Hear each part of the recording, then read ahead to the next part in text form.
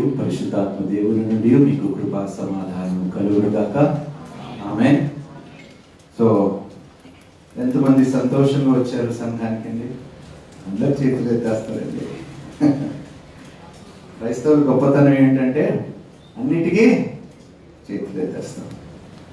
కానీ నేను మొన్న ఒక సంఘానికి వెళ్ళినప్పుడు ఒక అబ్బాయి క్వశ్చన్ ఆన్సర్ రౌండ్లోని ఒక ప్రశ్న అడిగాడు. సార్ ఈరోజు ఈ సంఘంలోని చాలా మంది ఉన్నారు వేల సంఖ్యలో ఉన్నారు సంఘంలోని అబ్బాయి ఒక ప్రశ్న అడిగాడు. నిజంగా ఎంతమంది క్రీస్తు కొరకు చనిపోవడానికి సిద్ధముగా ఉన్నారు? అని చేతులు ఎత్తమన్నాడు అందరు చేతులు ఎత్తేశారు చేతులు ఎత్తేస్తే ఎవడు వీళ్ళు అబద్ధాలు ఆడుతున్నారండి? అని. నిజంగా యేసుక్రీస్తు కొరకు మరణించటము యేసుక్రీస్తు కొరకు శ్రమలు అందుకోవటము చాలా సులువ కష్టమా? చెప్పండి. కష్టమా? ఇప్పుడు ఈరోజు అదే ప్రశ్న నేను అడుగుతున్నాను. బ్రతుకుటైతే క్రీస్తు కొరకు చావైన మేలు అన్నవారు ఇక్కడ ఎంతమంది ఉన్నారండి? అదే ఒక్కటే చేయితే ఇంక అందరు స్టార్ట్ చేస్తారు అనమాట రైట్ అందరూ ఉండాలని నేను కోరుకుంటున్నాను. We should live for Christ and die for Christ. That is what we are called for, to glorify God and God alone so ఈరోజు ఒక కొత్త అంశంతో మీ ముందుకు వస్తున్నాను. అది ఏమిటంటే ఎంకరేజ్మెంట్ ఏమిటంట? ఎంకరేజ్మెంట్ మన జీవితాల్లో అందరికీ కావాల్సింది ఏమిటండి? చెప్పండి. ఎంకరేజ్మెంట్ ఈరోజు కొన్ని అంశాలు ఆ విషయాలు ఎంకరేజ్మెంట్ మీకు తెలుసా? ఒక కృపావరణం. ఐడియా ఉందా మీకు? You know that it is one of the gifts of the Holy Spirit encouragement అది నేను చెప్పడం లేదు బైబిల్ చెప్తుంది. అది ఏంటో ఎంకరేజ్మెంట్ వలన ఏం కలుగుతుందో ఒక మంచి మాట వలన ఏమి చేయగలుగుతామో ఒక మంచి మాట వలన ఏం జరుగుతుందో ఒక డిస్కరేజ్మెంట్ మాట వలన మన జీవితంలోని ఏం జరుగుతుందో ఈరోజు మనం తెలుసుకుందాం. ఈ అంశం నాకు తెలిసి బహుశా ఈ వీక్ కంప్లీట్ అవ్వదు కాబట్టి చూడండి. సామెతలు. పన్నెండవ అధ్యాయము ఇరవై ఐదవ వచనం మనం చదువుకుందాం. ప్రాబ్స్ చాప్టర్ ట్వెల్వ్ ఒకని హృదయములోని విచారము మ్మ్. దాన్ని కృంగజేయును ఆ. దయగల మాట దాన్ని సంతోషపెట్టును. చూడండి ఒకడు వాడు హృదయములోని కృంగిపోయి విచారణ పడుతున్నప్పుడు ఒక మంచి మాట అంట ఏం చేయగలుగుతాదంట? సంతోష పెట్టగలుగుతాదంటే యూనో సహజంగా ఏమిటంటే మనం కొన్నిసార్లు మన మాట తీరుని మనం కంట్రోల్ చేయలేకపోతున్నాం. మన మాటల వలన చాలా సమస్యలు మనము మన కుటుంబాల్లో కానీ వైవాహిక జీవితంలో కానీ దేవుని సంబంధంలో కానీ దేవునితో సహవాసములో కలిగి ఉండటము ఇవన్నీ మన మాటల వలన మనం దూరం చేసుకుంటున్నాం. సహజంగా ఒక కుటుంబంలో ఒక కాపురము పాడైపోవడానికి మొట్టమొదటి కారణం ఏమిటండి మీరే చెప్పండి. ఎక్కడ ప్రారంభం అవుతుందండి పతనం ఎక్కడ స్టార్ట్ అవుతుంది? కమ్యూనికేషన్. ఒక మాట సరిగ్గా లేకపోతే చూడండి ఒక సపోజ్ నేను ఒక ఉదాహరణ చెప్తాను. భార్య భర్తల మధ్యలోని భార్య సైలెంట్గా ఉన్నది భర్త కొంచెం గొడవ పడుతున్నప్పుడు భార్య మౌనంగా ఉన్నది అనుకోండి ఏం జరుగుతుంది? క్షేమం కలుగుతుందా లేదా? భార్య కూడా తిరిగి చెప్పండి. ఉన్నారు అలాంటి భార్యలు ఇక్కడ ఎవరైనా? ఏమండి? సహజంగా అడుగుతున్నాను. ఉంటారులేండి. ఉండకుండా ఉండరు. వాదన ప్రతివాదన వలనే మన వివాహాన్ని కేవలము దేవుని సన్నిధిలో మనం మాట ఇచ్చాం ఏమిటి శ్రమయందు బాధయందు లేమియందు కలిమియందు దుఃఖము ఆరోగ్యమందు అంతటిలో నేను నీకు తోడు అంతా అవుతుంది వాస్తవానికి వచ్చేసరికి ఏ మాట మనం సరిగ్గా సంపూర్ణంగా మనం నెరవేర్చలేకపోతున్నాం. అంటే దేవుని దృష్టిలో మనం అబద్ధము చెప్పిన వారిగా మనం నిలబడుతున్నాం. సో ఈరోజు మన జీవితాన్ని ఏ విధంగా మనం మార్చుకోగలుగుతాము? సేయండి ఎంకరేజ్మెంట్ అనేది ప్రతి ఒక్కరి జీవితంలో చాలా అవసరమైనది. నేను మొన్న ఐ థింక్ ఈ సంవత్సరమైనా మనం సూసైడ్స్ గురించి మాట్లాడుకుంది. ఈ ఇయర్ అయినా సంఖ్య మీకు చెప్పాను ఎంతమంది చనిపోతున్నారు? ఎందుకు చనిపోతున్నారో తెలుసండి వాళ్ళకి ఆదరణకరమైన మాటలు వినలేకపోతున్నారు కాబట్టి. Nobody to encourage them isolate అయిపోయి ఒంటరితనాన్ని అనుభవిస్తూ ఎవరైనా మంచి మాటలు మాట్లాడతారని వేచి చూస్తూ చూస్తూ చూస్తూ వారు ఆత్మలో ఉన్న ఆ నిరీక్షణను కూడా వాళ్ళు కోల్పోయి వారు ప్రాణాన్ని తీసుకోవడానికి వెనకాడటం. లేదు. ఒక మంచి మాట ఏమండి? ఒక మంచి మాట ఒక ప్రాణాన్ని నిలబెట్టగలుగుతుంది. ఒక చిన్న ఉదాహరణ మనం చూద్దామండి. యేసుక్రీస్తు ప్రభువారు ఆ ఎరుషులం పట్టణంలో ఉన్నప్పుడు సడన్గా ఒక పెద్ద గోల ఎవరో స్త్రీ పరిగెత్తుకుంటూ వస్తుంది. ఆ స్త్రీ వెనకాల చాలా మంది జనులు పరిగెత్తుకుంటూ వస్తున్నారు. పరిగెత్తుకుంటూ వచ్చి ఆ స్త్రీని యేసుక్రీస్తు ప్రభు ప్రభు దగ్గరికి తీసుకొని వచ్చి మోషే ధర్మశాస్త్రం ప్రకారం ఈ స్త్రీ వ్యభిచరించినందుకు ఆమెను రాళ్ళతో కొట్టాలా? రాళ్ళతో కొట్టి చంపకూడదా? చంపాలా? అని యేసుక్రీస్తు ప్రభుని చెప్పండి. అడిగారు. అప్పుడు యేసుక్రీస్తు ప్రభు చెప్పిన మాట ఏమిటి? చెప్పండి. అరే చెప్పండి అబ్బా మీలో ఎవడైనాను నాకు వినిపించటం లేదు. కదా? రాయిలు వేయటం చాలా ఈజీ అండి. అవునా కదా? మీరు చేస్తున్నది అదే. ఇక్కడ నేను అడిగే ప్రశ్న కూడా ఈరోజు అదే. మీలో ఎవడైనా పాపము లేనివాడు ఉన్నాడా? దయచేసి చేతులు please I want to see that person మరి ఎందుకయ్యా నోరు తెరుస్తారా మాస్టర్ ఎందుకయ్యా గాయపరుస్తారు ఎందుకయ్యా మాటలతో చంపేస్తారు మనుషులు మీలో ఉన్న పాపముని ముందు మీరు చూసుకోగలిగితే అందుకని యేసుక్రీస్తు ప్రభు ఎంత చక్కటి మాటలు. నీ కంటిలో ఉన్న దూలాన్ని పెట్టుకొని నీ సహోదరుడు కంటిలో ఉన్న నరుసుని తీయటానికి నువ్వు బయలుదేరావంట మహానుభావులు. ఏమిటంట? కంటిలో ఏమున్నదంట? దూలం ఉందంట కానీ ఎదుటి వాళ్ళు ఉన్న చిన్న చిన్న లోపాలని చూడటానికి వెతకటానికి వెళ్ళి చి నువ్వు పాపిస్తే దానివి పాపిస్తే వాడిని నేను చెప్పడానికి బయలుదేరాడు అందరూ పాపపు పీపలే. ఏ ఒక్కడు కూడా పాపము చేయని వాడు సం- మనం ఎందుకున్నామంటే దేవుడు పాపుల్ని రక్షించడానికి వచ్చాడు కాబట్టి మన పాపములు ఆయన సన్నిధిలో ఒప్పుకోవటానికి కాబట్టి మనం అందరం we are all sinners we have come to seek his forgiveness Bible చాలా చక్కటి మాట చెప్తుందండి. నీ సహోదరును లేకపోతే నీ పొరుగు వాడిని నీకన్నా యోగ్యుడుగా నీవు ఆ, అబ్బే. అవి ఎంత మన వల్ల సాధ్యము? కానే కాదు. ఈ రోజు మనము ఎంకరేజ్మెంట్ అనే విషయంలోనే I want everybody to be encourage to ఒకవేళ మీలో ఎవరైనా మానసిక స్థితి బాగలేకపోయినా కృంగిపోయిన స్థితిలో ఉన్నారా? అమ్మా మనుషులు చెప్పేది మనుషులు చూపించేది నిజమైన ప్రేమ కాదు. వారి మాటలన్నీ పట్టివే మీకు ఆదరణ కావాలంటే మీకు ఏదైనా ధైర్యం కావాలంటే అది దేవుడు మాత్రమే మనకి ఇవ్వగలుగుతాడు. అందుకనే మనుషుల దగ్గరికి వెళ్ళటం మనం మానేద్దాం ఆపేద్దాం. ఎందుకంటే తెలుసా చాలా సార్లు మనం అనేక సందర్భాల్లో చూస్తాం. సహజంగా ఆడపిల్లలు ఉన్న ఇంట్లోని చాలా సమస్యలు ఉంటాయి. ఒక ఆడపిల్ల పుట్టిందనుకోండి సహజంగా ఇప్పుడు సొసైటీలో కూడా మగబిడ్డ పుడితేనే ఏమండి? చెప్పాలి మీరే. ఉన్నారా అలాగా? నాకు మగ నేను నేను వాస్తవంగా నాకు ప్రేయర్ చేయించుకోవడానికి ఒక ఆమె ఫోన్ చేసింది అమ్మ దేవుడు ఏది ఇస్తే అది తీసుకోండి అమ్మా అన్నాను ఆడపిల్ల పుట్టినందుకు నాకు ఫోన్ చేసి ఏడుపులు పెడబోపులు అయ్యా దేవుడు ద్రోహం చేసేసాడు నాకు. కుమారుని కోరుకున్నాను ఆడపిల్లని ఇచ్చేసాడు ఏమిటండి ఇది? ఆ పిల్ల బ్రతుకు ఎలా ఉంటుందండి? ఆ ఇంట్లో ఒకసారి ఊహించుకోండి మీరు. పెరిగిన కొలది ఆ అమ్మాయిని చూచి వారు మాట్లాడే మాటల్లో ఏమైనా ఎంకరేజ్మెంట్ ఉంటుందో తన జీవితంలో. ఏం పాపం చేసిందండి ఆ పసిపిల్ల చెప్పండి. చేతులారా వారి నోటి మాటలతో తన జీవితాన్ని నా తల్లిదండ్రులే చేస్తున్నారండి ఇది. పార్షియాలిటీ చూపించడం.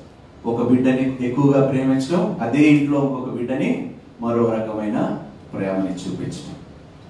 ఇవన్నీ మనం మా మానుకోవాలని దేవుడు చెప్తున్నాడండి. సహజంగా మనిషి జీవితంలోని ప్రోత్సాహం అనేది చాలా ప్రాముఖ్యమైనది. ప్రోత్సాహము లేనిదే మనిషి ఏది సాధించలేడు. ఎంతమంది అంగీకరిస్తున్నారండి ఈ మాటని?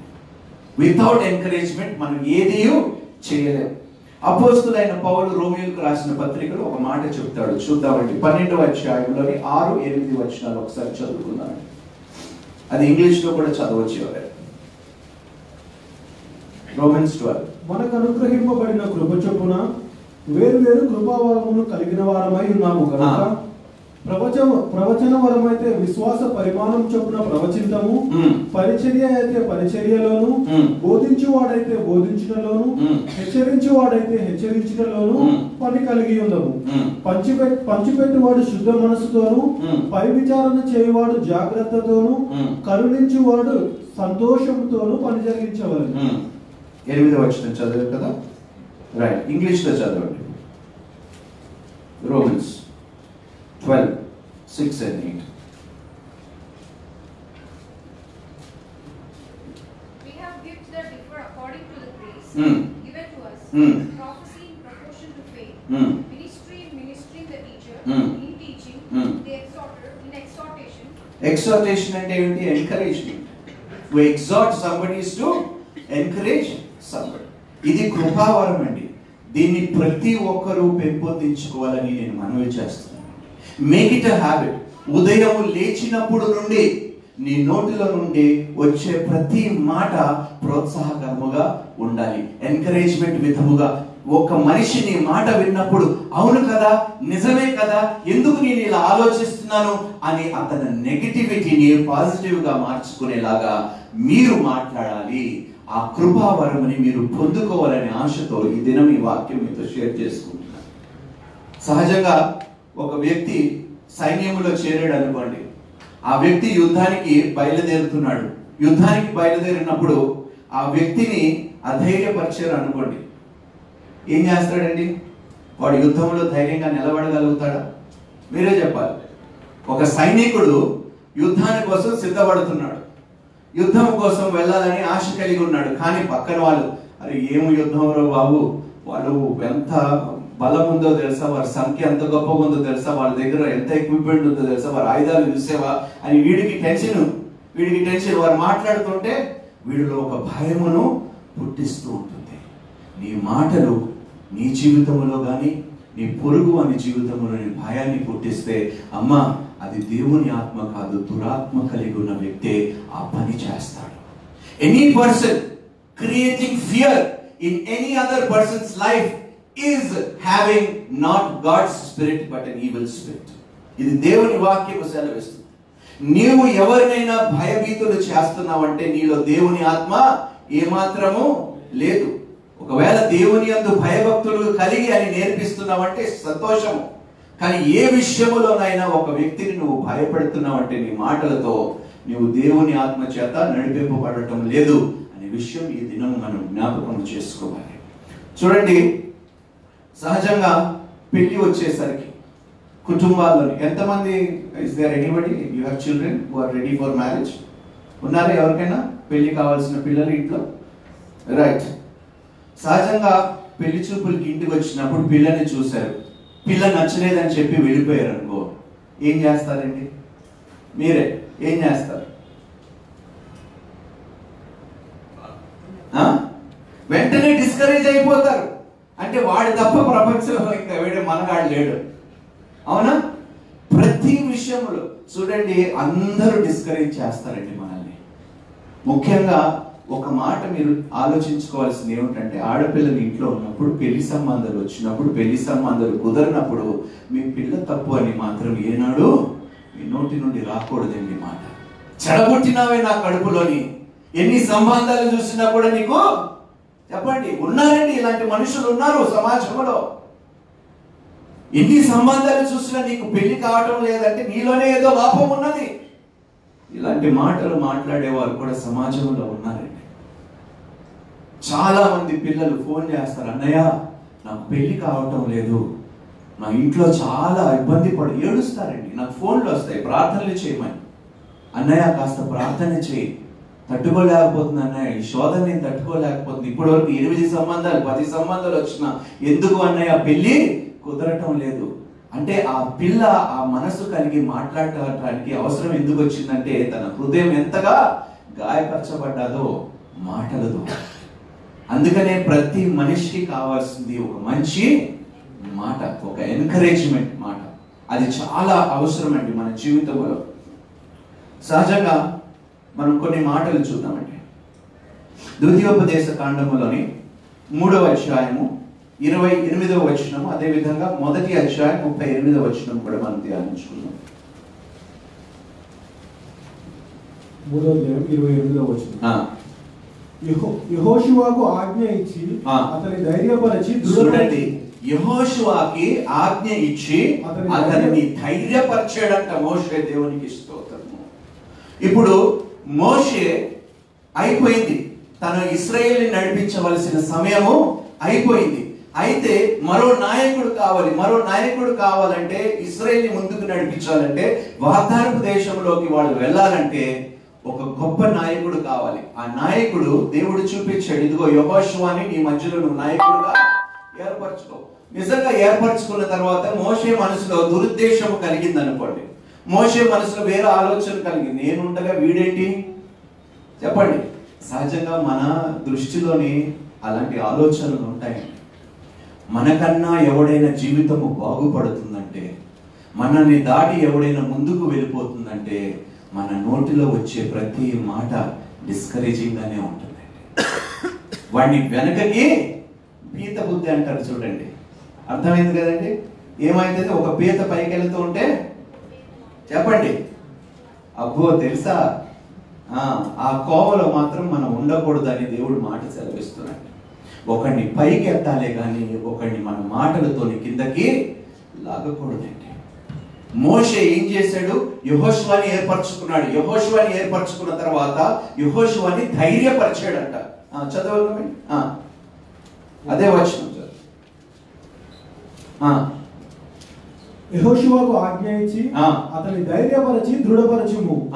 అతడు ఈ ప్రజలను వెంటబెట్టుకొని ఆ. నది దాటి నీవు చూడబోయే దేశమును వారిని స్వాధీనపరచుకొన చేయును. ఎందుకంటే మోషే ఎందుకు ధైర్యపరచవలసి వస్తుందంటే అవతల దేశంలో ఉన్నవారంట ఎలా ఉన్నారంట? నెఫీలియన్స్ అంట అమకీయ అమలేకులు. వాళ్ళు ఎలాంటి ఉన్నారంట? జైంట్స్ లాగా ఉన్నారంట. వీళ్ళు ఎలా ఉన్నారంట? మిడతల వల్లే ఉన్నారంట. వాళ్ళని ఎదుర్కోవాలంటే వాళ్ళ ముందు నిలబడాలంటే వారితో పోరాడాలంటే వీళ్ళకి ఎంత ధైర్యం కావాలి వీళ్ళకి ఎంత శక్తి కావాలి వీళ్ళకి ఎంత ఎంకరేజ్మెంట్ కావాలి. ఈరోజు సహజంగా మన బిడ్డలని మనం కాంపిటేటివ్ వరల్డ్లో పంపిస్తున్నామండి. కాంపిటేటివ్ వరల్డ్లో పంపించేసి నిజంగా ఎంత ప్రెషర్ పెడుతున్నామో బిడ్డల మీద పిల్లల మీద. మీరు అందరు గ్రూప్స్ రాస్తున్నారు కదా? మీ మీద బహు ప్రెషర్ ఉందా లేదా? ఉందా లేదా? ఒకసారి మీరు పొందుకోలేరు అనుకోండి ఒకసారి మీరు ఎగ్జామ్స్ అటెంప్ట్ చేశారు మీరు పొందుకోలేరు అనుకోండి ఇంటిలో నుంచి మంచి వార్త వస్తుందా? చెప్పండి అమ్మా అడే అడుగుతున్నాను. ఎందుకు రాదు? ఎందుకు రాదు చెప్పండి. బాధ కలుగుతుంది? అంటే మీ ప్రయత్నం మీరు చేశారు. చేసినా కూడా కొన్నిసార్లు పరిస్థితులు మన చేతిలో ఉండవండి. అది చాలా మంది అర్థం చేసుకునే పరిస్థితులు ఉన్నారు. మన ప్రయాస చేసిన తర్వాత కూడా మనం కొన్నిసార్లు విఫలం అవుతాం. విఫల విఫలమైనంత మాత్రాన మళ్ళీ మనం సాధించము అని బైబిల్లో ఎక్కడ రాయబడలేదండి. ఒకసారి ఫెయిల్ అయిన వాడు మళ్ళీ సాధించలేడు. ఒకసారి ఓడిపోయిన వాడు గెలవడు అని బైబిల్లో ఉన్నదంటే నేను ఒప్పుకో అలాంటి తరుణము అలాంటి పరిస్థితి బైబిల్లో ఎన్నడూ లేదండి. అందరూ గెలిచిన వారు ఎవరో తెలుసా? ముందు ఓడిపోయిన వారే బైబిల్లోని. ప్రతి మనిషి ఓటమిని చూచి ఓటమి పాలై అవమాన పాలై నిందలు పాలై కష్ట నష్టాలు పాలైపోయి దరిద్రతలో బ్రతుకుతూ నిజంగా తన జీవితము నిస్సాయ స్థితిలో ఉన్నవారే గొప్ప విజయాన్ని సాధించుకున్నారండి దేవునికి చూస్తాం ఈరోజు దేవుడు మన పరిస్థితి కూడా అదే అంటున్నాడు అమ్మా మీరు అధైర్యపడకండి. మీరు జడేయకండి నిబ్బరముగా ఉండండి. దేవుడు పదే పదే బైబిల్ ప్రారంభము నుండి అంతము దాకా దేవుడు మనల్ని ప్రోత్సహిస్తూనే ఉన్నాడు మనల్ని ఎంకరేజ్ చేస్తూనే ఉన్నాడు. ఈరోజు దేవుడు అదే మాట చెప్తున్నాడు మీరు ధైర్యముగా ఉండండి. ఏ విషయములో ఎవరు ఏ మాట చెప్పినా కూడా మీరు నమ్మవలసిన అవసరం లేదు. దాన్ని అంగీకరించవలసిన అవసరం లేదు. ఎవరైనా మిమ్మల్ని భయపెట్టినా లేకపోతే భీతికి గురి చేసినా మీరు వారి మాటల్ని ఏ మాత్రము స్వీకరించకండి అమ్మా దయచేసి నేను చెప్తున్నది ఏంటంటే ఒకవేళ మీరు ఆ మాట విని మీరు భయపడిన ఎడల దేవుణ్ణి మీరు అగౌరవపరిచిన వారుగా ఉంటారు. ఇదే పరిస్థితి ఇస్రాయేలీలోనే పన్నెండు మంది కూడాచారులు పది మంది చేసిన పని. పన్నెండు మంది వెళ్ళారు. దేవుడు ఏమన్నాడు? కేవలం ఆ పట్టణము చూచి ఆ వార్తని తీసుకురామన్నారు తీసుకొచ్చారా? పది మంది ఎలాంటి వార్త తీసుకొచ్చారంటే అంత డిస్కరేజ్మెంటే అయ్యో బాబోయ్ మనం అక్కడికి వెళ్ళామనుకోండి మన పని అయిపోయింది. వారు ఎంతమంది ఉన్నారు? మనం వాళ్ళ ముందు మిడతల్లాగా ఉన్నామని ఇస్రేలీ హృదయంలో వారు ఏం పుట్టించారంట? భయాన్ని పుట్టించారు.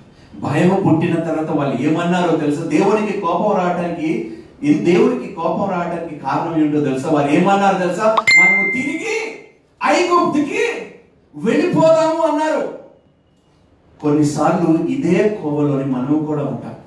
ఒకసారి ఎవడైనా మన దగ్గరికి వచ్చినప్పుడు మనం నిస్సాయి స్థితిలో ఉన్నప్పుడు లేకపోతే మనం వీక్గా ఉన్నప్పుడు ఎవడైనా మన దగ్గరికి వచ్చి ఒక డిస్కరేజ్మెంట్ మాట మనకి చెప్తే వెంటనే అది నమ్మేయాలి దేవుణ్ణి కాదని చెప్పి మనం తిరిగి వెళ్ళిపోవాలి. ఇలాంటి పరిస్థితుల్లో చాలా మంది బ్రతుకుతున్నారు. కేవలము మనుషులు చెప్పిన మాట వలన మనుషులు చెప్పిన మాట వలన వారు మాటని నమ్మి దేవుణ్ణి విడిచిపెట్టేసి క్రైస్తవ జీవితాన్ని విడిచిపెట్టేసి వెళ్ళిపోయిన వారు చాలా మంది సమాజంలో ఉన్నారు. చాలా మంది వారు విశ్వాసాన్ని విడిచిపెట్టి వెళ్ళిపోయిన వారు ఉన్నారు. ఎందుకు వెళ్ళిపోయారో తెలుసా?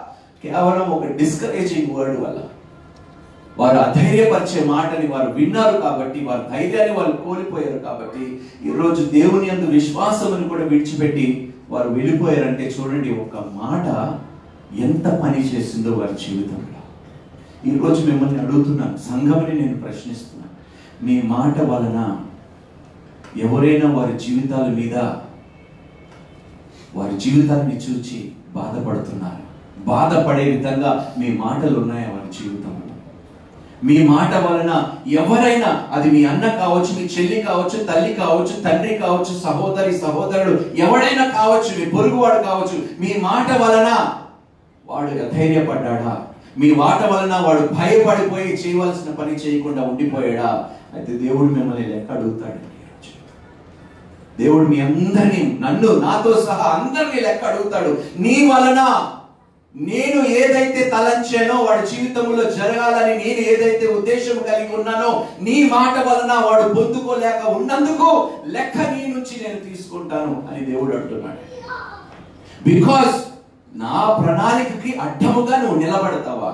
నువ్వు మాట్లాడతావా? నా ఉద్దేశానికి నువ్వు వ్యతిరేకముగా మాట్లాడతావా? నేను ఏదైతే తలంచానో ఏదైతే ఉద్దేశించానో ఏదైతే సంకల్పము కలిగి ఉన్నానో దానికి వ్యతిరేకంగా నువ్వు అడ్డుపడి నీ మాటతో అధైర్యపరిచి నా సన్నిధి నుండి నువ్వు దూరం చేస్తావా? ఎంత ధైర్యం నీకు? ఎంత ధైర్యం? ఎవరిచ్చారండి అధికారం మనకి? సైతానుడు ఏం చేశాడండి? తన మాటలతో లోపరుచుకున్నాడు అవ్వని లోపరుచుకున్నాడు. మీరు చనిపోరు. మీరు దేవుళ్ళు అయిపోతారు. మాటలతో పాపము చేయించరా. మీ మాటలతో ఎవరినైనా పాపము చేయించరా? మిమ్మల్ని అడుగుతున్నాను. మీ మాట వలన ఎవడైనా పాపము చేశాడా? భయపడటం అనేది ఒక పెద్ద పాపం అండి బైబిల్లోని. దేవుడు మనకి పిరికి ఆత్మను ఇవ్వలేదు. ధైర్యము కలిగిన ఆత్మను ఇచ్చాడు. దేవుడు చెప్తున్నాడు ఒకవేళ మీలో ఏదైనా భయం ఉందంటే మీలో పాపం ఉన్నది. పాపం ఉన్నవాడే భయపడతాడండి. తప్పు చేసిన వాడే భయపడతాడు. మీలో ఇంకా భయం ఉన్నదా? లేకపోతే ఎవరైనా మాటలు విని మీరు భయపడిపోయిన ఎడల అంటే మీలో ఏదో పాపము ఉన్నది. దయచేసి దేవుడు అంటున్నాడు వీటన్నిటినీ మీరు మానుకోండి మీ మాట తీరుని మీరు మార్చుకోండి అందరినీ మీరు బలపరిచే విధంగా మీరు మాట్లాడండి ధైర్యపరిచే విధముగా మీరు మాట్లాడండి. చూడండి ఇంగ్లీష్లోని second Psalms chapter nineteen verse సెవెన్లో ఒక చక్కటి మాట ఉంటుంది. చూద్దామండి. రెండో సమయంలో పంతొమ్మిదో అధ్యాయం సాంగ్స్ అన్నాను సారీ రెండో సమయంలో సెకండ్ సామ్యూల్ పంతొమ్మిది త్వర త్వరగా చూద్దాం.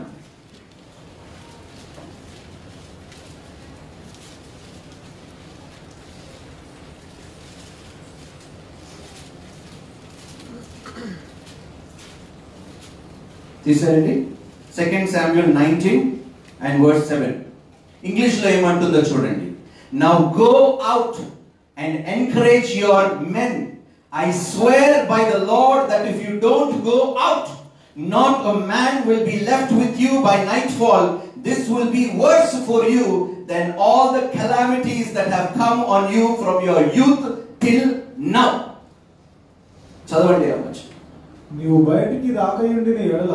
ఈ రాత్రి ఒకడును నీ యొద్ద నిలవడని. యెహోవా నామమును బట్టి ప్రమాణము చేసి ఆ. చెప్పుచున్నాను సిక్స్త్ నీ స్నేహితుల ఎడల ప్రేమ చూపక. నీ శత్రువుల ఎడల ప్రేమ చూపుచు.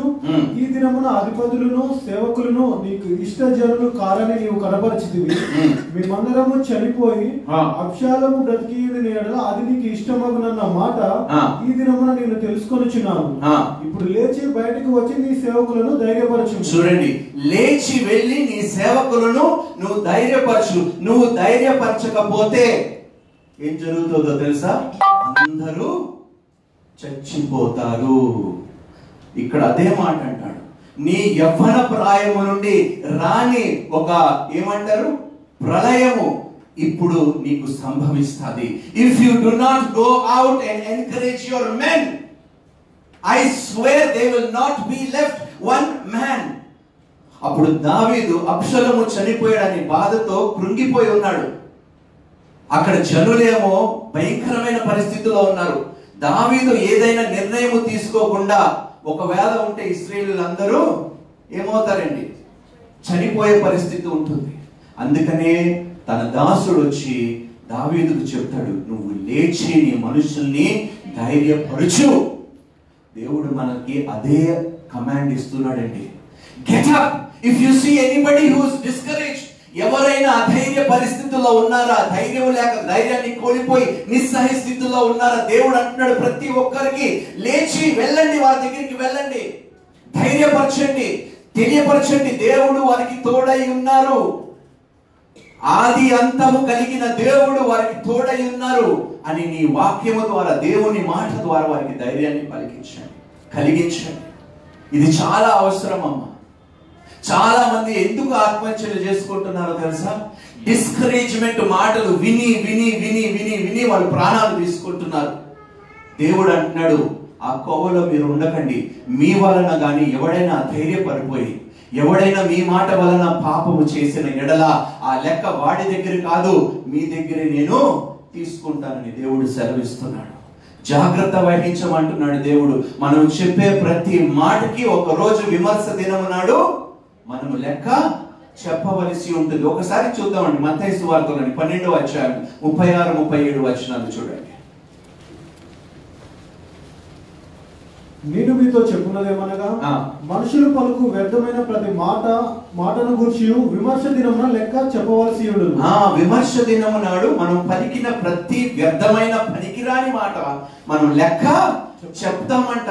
అది నీ బిడ్డల మీద కావచ్చు నువ్వు పలికి ఉండొచ్చు. నీ వివాహం మీద కావచ్చు నువ్వు పలికి ఉండొచ్చు. నీ భార్య భార్య భర్త మీద భర్త భార్య మీద లేకపోతే పిల్లలు తల్లిదండ్రుల మీద లేకపోతే దేవుడు అనుగ్రహించిన నీ ఆశీర్వాదముల మీద ఏ వ్యర్థమైన మాట నువ్వు పలికినా విమర్శ దినము నాడు దానికి లెక్క అది నేను చెప్పటం లేదు. స్వయాంగ స్వయాన యేసుక్రీస్తు ప్రభు వారు చెప్పిన మాటలు అవి.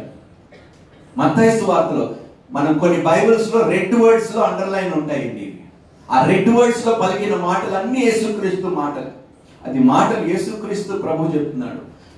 మీరు పలికిన ప్రతి వ్యర్థమైన మాటకు విమర్శ దినము నాడు లెక్క. ఎందుకమ్మ దేవునికి మనం అంత భయంకరమైన లెక్క చెప్పుకోవాల్సిన అవసరం ఉందా మనకి చెప్పండి.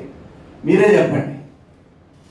అందుకనే మాట్లాడే ముందు పెద్దలు ఏమంటారు? పదిసార్లు ఆలోచించి మాట్లాడు ఏ మాట అయినా. ఒక్కసారి మాట నీ నోటిలో నుండి బయలుదేరిందనుకో ఆ మాటకి నువ్వు వెనకాలి తీసుకోవటానికి కూడా ఉండదు. ఆ మాట తన పని చేసేసి తన హృదయాన్ని గాయపరిచేసి సంబంధాన్ని తుడిచి వేసేసి అనుబంధాన్ని నాశనం చేసేసి తను చేయవలసిన నాశనమైన పని ఆ మాట చేసేస్తుంది. అయిపోయింది. గాయపడ్డ తర్వాత ఆ గాయము బాగైతుంది కానీ మచ్చ మాత్రము చెప్పండి మిగిలిపోతుందండి. ఎంతమంది హృదయాల్లో ఎంతమంది మచ్చలు విడిచిపెట్టామో మనం.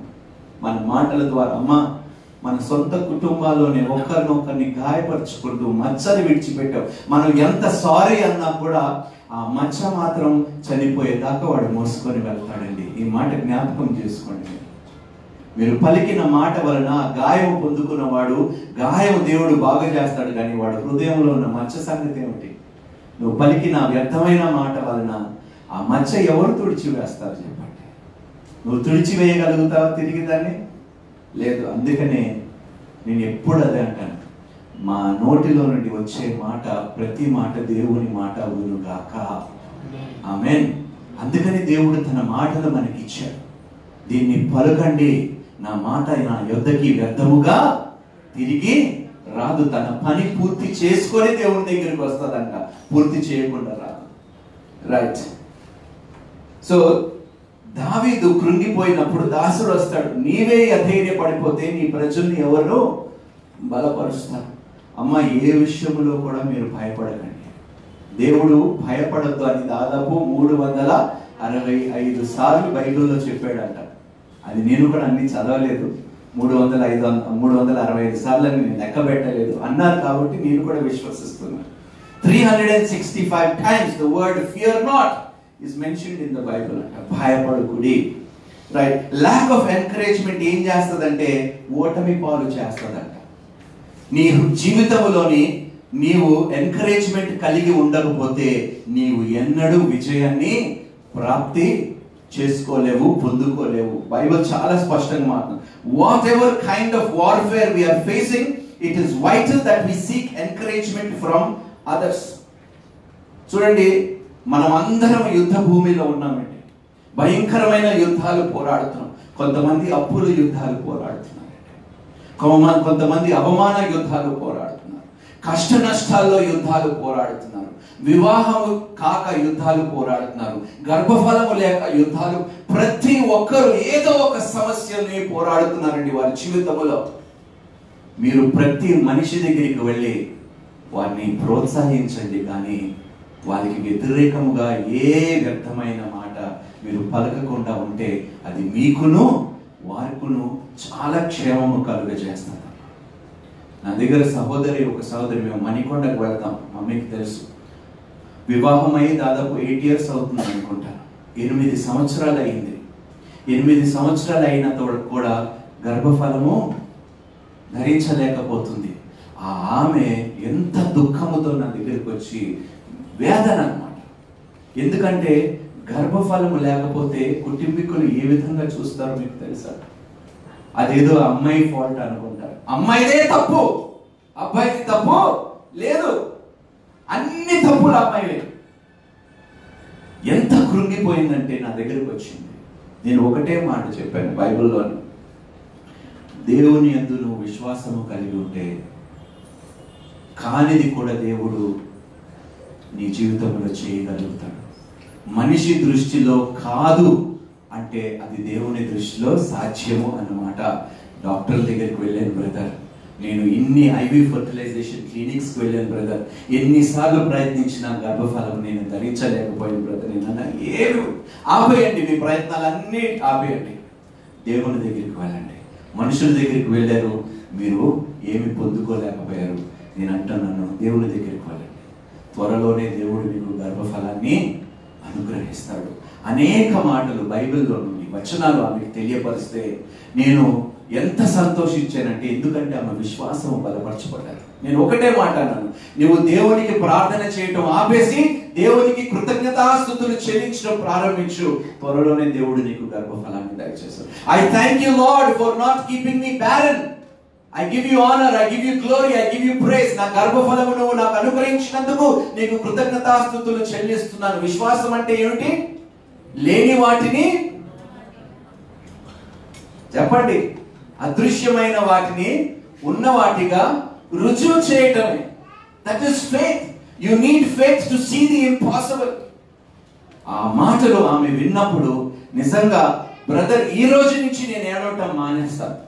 ఈ రోజు నుంచి మనుషులు ఎన్ని మాటలు చెప్పినా నేను వినటం ఆపేస్తాను దేవుని మాటలు మీరు ఆధారం చేసుకొని ఆ దేవుణ్ణి నేను స్తుతిస్తాను నాకు తెలిసి I'm sure God will bless very soon తప్పకుండా దేవుడు ఆశీర్వదిస్తాడండి ఇది నా విశ్వాసం. అందుకనే చాలా సార్లు మన సంఘములో కూడా బ్రదర్ ఉద్యోగం కోసం ప్రార్థన చేయమంటే నేను ఏమంటాను? చెప్పండి. వచ్చేసింది. వచ్చేసింది. తప్పకుండా దేవుడు ఇస్తాడమ్మా. ఆశపడే ప్రాణంని తృప్తిపరుస్తాడు దేవుడు. చూడండి ఒక ఒక గొప్ప వ్యక్తి అపోస్తుల కార్యాల్లోని మనం చూడగలుగుతాం. డిసైపుల్ ఆఫ్ జీసస్ ఇంకొక మాట దానికి ముందు చూడాలి మొదటి కొరింతలకు రాసిన పత్రిక పద్నాలుగో అధ్యాయము పన్నెండవ వచనము. మీరు ఆత్మ సంబంధమైన వరముల విషయమై ఆసక్తి గలవారు కనుక సంగమునకు క్షేమాభివృద్ధి కలుగు నిమిత్తము అవి మీకు విస్తరించినట్లు ప్రయత్నము చేయండి. చూడండి in first Corinthians fourteen ట్వెల్వ్లోని encouragement like other gifts of the spirit are ultimate for the purpose of building of the body of Christ క్రీస్తు యొక్క సంఘముని కట్టాలంటే దానికి ఎలాంటి మాటలు కావాలంట? చెప్పండి.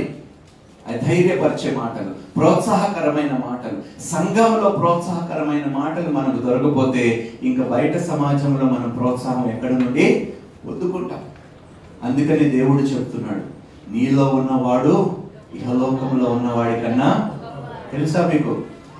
తెలుసా? ఎంతమందికి తెలుసండి? నీలో దేవుడు ఉన్నాడా లేకపోతే ఇంకెవరైనా ఉన్నారా? చెప్పండి. నీలో నిజంగా దేవుడు ఉంటే నువ్వు మొట్టమొదటిగా చేసేది ఏ వ్యక్తి ఏ పరిస్థితిలో ఉన్నా బ్రదర్ మీరు భయపడకండి నా మాటలు కాదు బ్రదర్ మీరు నమ్మవలసిన నా దేవుడు మాటలు మీరు నమ్మండి. మీరు ప్రార్థన చేయండి దేవునికి ప్రార్థన చేయండి. మీరు అడగండి దేవుణ్ణి. నిశ్చయముగా మీరు అడిగినది దేవుడు మీకు అనుగ్రహిస్తాడు. ఎంకరేజ్ చేయండి బలపరచండి వాక్యానుసారమైన మాటలు మాట్లాడి వారిని ధైర్యపరచండి. ఇంకొక మాట మనం చూద్దాం. బర్ణబస్ గురించి ఎంతమందికి తెలుసండి? బర్ణబస్ తెలుసా మీకు? బర్ణబస్ పేరుకు అర్థం ఏమిటో తెలుసా? సన్ ఆఫ్ ఎంకరేజ్మెంట్ బర్ణబస్ పేరు ఏమిటో తెలుసా?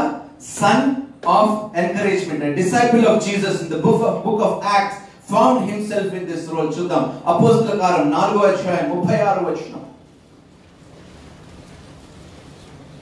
కుబ్రాలో పుట్టిన లేవీయుడకు ఏసేపు అను ఒకడుండెను ఇతనికి అపోస్తలు హెచ్చరిక పుత్రుడు అని అర్థం ఇచ్చి బర్నబా అను పేరు పెట్టి ఉండేది ఆయన పేరే ఎంకరేజ్మెంట్ అంట. ఎంత బాగుంటుందండి? మనం ఐఏఎస్ బదులు డాక్టర్లు బదులు మన బిరుదులు బదులు ఇవన్నీ పక్కన తీసుకోకపో తీసి తీసేసి పక్కన పెట్టి ఎంకరేజ్మెంట్ రాజా. అరే బాగుంటుందా లేదా? అంటే మన దగ్గరికి వచ్చిన వాళ్ళందరూ ఎంకరేజ్ చేయబడతారు. మన పేరు ముందు అలాంటి టైటిల్స్ కన్నా ఇలాంటి టైటిల్స్ పెట్టుకుంటే బాగుంటాయా లేదా? మీరే చెప్పండి అమ్మా. Today we need to carry these titles with us he's a man of encouragement వాడి దగ్గరికి వెళ్తే మనం ఖచ్చితంగా ఒక ధైర్యముని పొందుకుంటాం. అలాంటి విశ్వాసముని మనం వాళ్ళలోని పుట్టించగలగాలి. ఎవడైనా నీ దగ్గరికి వస్తామో వాడి దగ్గరికి అయ్య బాబు నేను వెళ్ళను. అనే పరిస్థితిలో మనం దయచేసి ఉండకూడదు.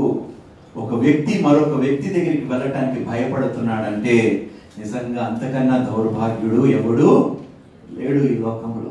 సంతోషంగా వెళ్ళాలి. It's joy brother to spend time in your midst నీ మధ్యలోని సమయం గడపటం నీతో సమయం గడపటం నాకెంతో క్షేమము కలుగ చేస్తుంది అనే విధముగా మాట్లాడే విధముగా మన జీవితము ఉండాలండి మన బ్రతుకు తీరు అలాగ ఉన్నంత వరకు మనం దీవెనకరముగా మనం ప్రజలకి ఉంటాం. అపోస్తుల కార్యము పదకొండవ అధ్యాయం ఇరవై నాలుగవ వచ్చిన పావులు ఎందుకంత గొప్ప సేవ చేయగలిగాడు తెలుసండి? ఎవరి మూలన చేయగలిగాడు? మీరే చెప్పాలి. బర్ణబస్ వలన అపోస్తులైన పావులకి ఎంకరేజ్మెంట్ నిజంగా లేకపోయి ఉంటే నా తల్లి నాకు చేసినట్టు. నా ఆత్మీయ తల్లి నేను సేవలోకి వచ్చినప్పుడు ఆ రోజు బర్ణబస్ పౌలుకి ఏ విధంగా ఎంకరేజ్ చేసిందో నేను సేవలో ప్రారంభం సేవలోకి వచ్చినప్పుడు నా ఆత్మీయ తల్లి ప్రతి చాటుకి నన్ను తీసుకొని వెళ్ళింది. ప్రతి మనిషికి బ్రదర్ రాజాని కలవండి చక్కగా వాక్యం చెప్తాడు అని ఎంత ఎంకరేజ్మెంట్ లాస్ట్ ఎన్ని? టెన్ ఇయర్స్ పైన అయిపోతుందో పది సంవత్సరముల నుంచి నన్ను విడవకుండా నన్ను ప్రోత్సహిస్తూనే ఉన్నది. ప్రతి ఒక్కరికి. అమెరికాకు వెళ్తున్నాను అనుకో అక్కడ పది మందికి ఫోన్ చేసి రాజాగారు వస్తున్నారండి ఒక ఒకసారి మీ ఇంటిని వినిపించండి తన వాక్యం ఒకసారి వినండి. ఎంత ఎంకరేజ్మెంట్ ఇచ్చిందండి. ఈ రోజు ఇంత సేవ నేను చేయగలుగుతున్నానంటే ఆ దేవుని కృప నా తల్లి సహాయము నా తల్లి యొక్క ఎంకరేజ్మెంట్ వలన. చాలా మేలు చేసిందండి. ఒక జీవితంలో ఒకరు ఎంకరేజ్మెంట్ పొందుకుంటే ఏ స్థాయికి ఎదగలుగుతాడో మనం చూసాం. అదే జరిగిందండి అపోస్తులైన పౌలు జీవితంలో. బర్నాబస్ అనే ఒక వ్యక్తి అపోస్తులైన పౌల జీవితంలో ఎంకరేజ్మెంట్ చేయకపోతే నాకు తెలిసి బహుశా అంత సేవ చేయకపోయి ఉండొచ్చేమో పౌలు. ఎంత సేవ ఎంత గొప్ప సేవ చేశాడండి అపోస్తులైన పౌలు. నేను ఈ రోజు అంటున్నానండి మీరు ఒక్కరిని మీ జీవితంలో ఎంకరేజ్ చేయండి. మీ పరిస్థితి బాగోలేకపోయినా కూడా మీరు ఏ స్థితిలో ఉన్నా కూడా మీరు శ్రమనందు వెళ్తున్నా కూడా వేరే వ్యక్తిని శ్రమలో ఉన్నప్పుడు ఎంకరేజ్ చేయండి. నా పరిస్థితి ఇలాగే ఉంది బ్రదర్ నాకే సక్సెస్ రాలేదు బ్రదర్ మీరు ప్రయత్నిస్తే మీకు సక్సెస్ వస్తుందని డౌటే బ్రదర్ ఇలాంటి పిచ్చి పిచ్చి మాటలు మానేయటం ఆపేయండి. నీకు అవ్వకపోతే పక్కనోడికి అవ్వకూడదా? నువ్వు గ్రూప్స్లో ఫెయిల్ అయిపోతే పక్కనోడిని డిస్కరేజ్ చేసే బ్రదర్ టెన్ ఇయర్స్ బ్రదర్ నేను ట్రై చేస్తున్నాను.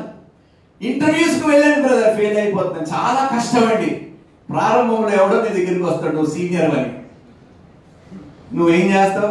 నీ టైం వేస్ట్ చేసుకుంటున్నావురా.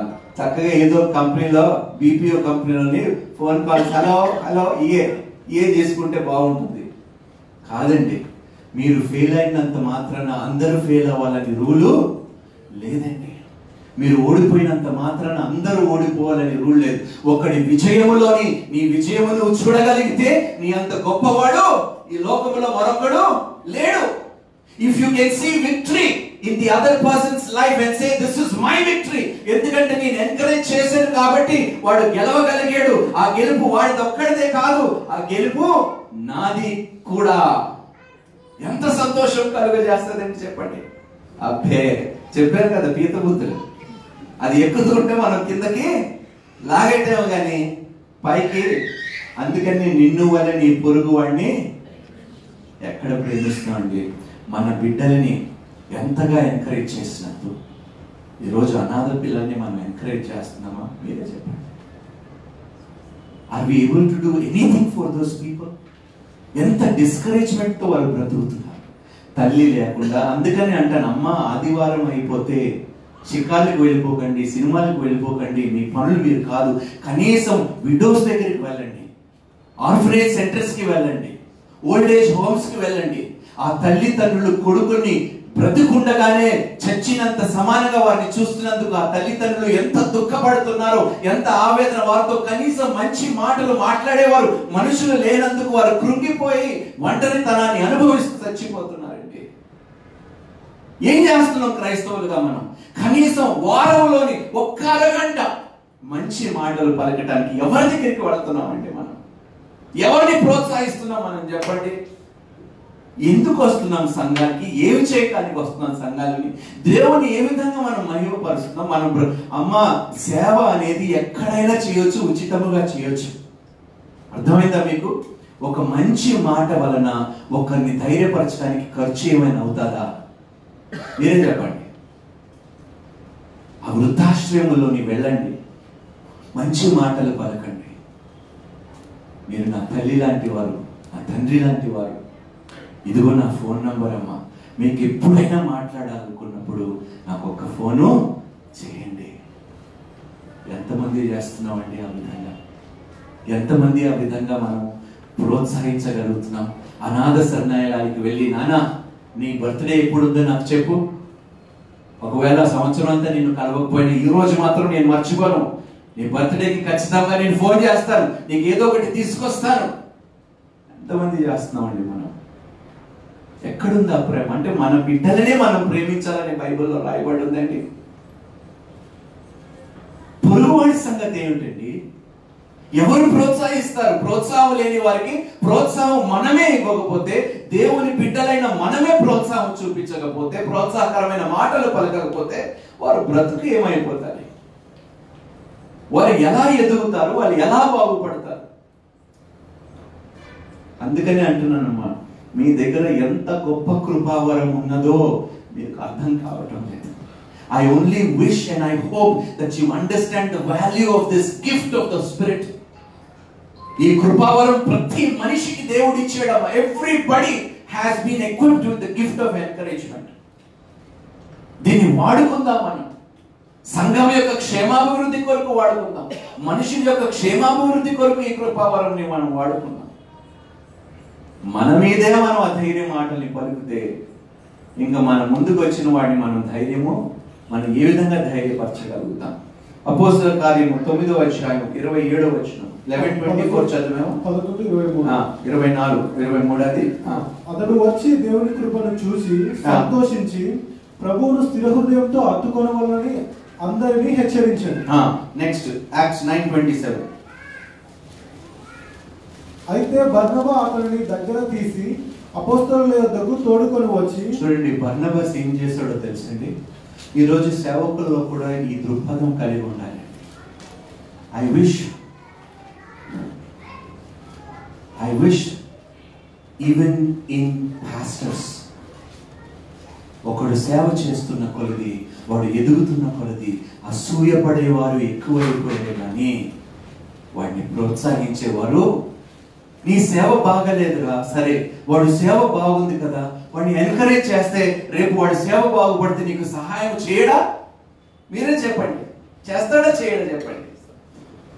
అరే నేను సేవలో పెరుగుతున్నప్పుడు నాకు తోడుగా ఉండి తన సేవ బాగలేకపోయినా నాకు సమయం ఇచ్చి నాకు ఎన్కరేజ్ చేసినందుకు నా సేవ వల్ల నేను ఆశీర్వదించబడ్డాను కాబట్టి ఇదిగో నీ సేవ కొరకు ఈ సహాయం నేను తిరిగి ఇస్తున్నాను అని అన్నాడండి వాడు.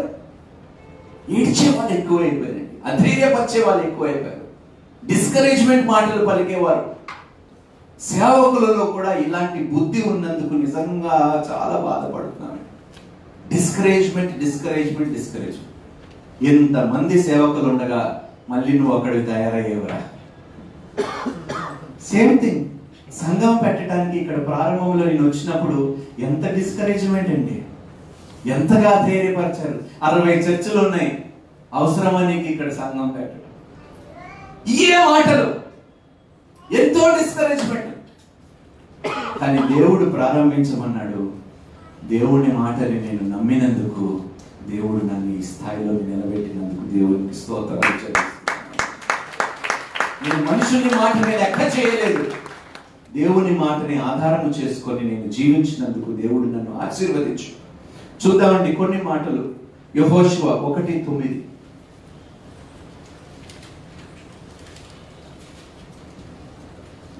నేను నీకు ఆజ్ఞ ఆజ్ఞ ఇచ్చి ఉన్నాను కదా. నిబ్బరము కలిగి ధైర్యంగా నుండుము. నేను నీకు ఆజ్ఞ అంటున్నాడు. అమ్మా this is a commandment please take it seriously నేను నీకు ఆజ్ఞ ఇచ్చి ఉన్నాను. ఆ.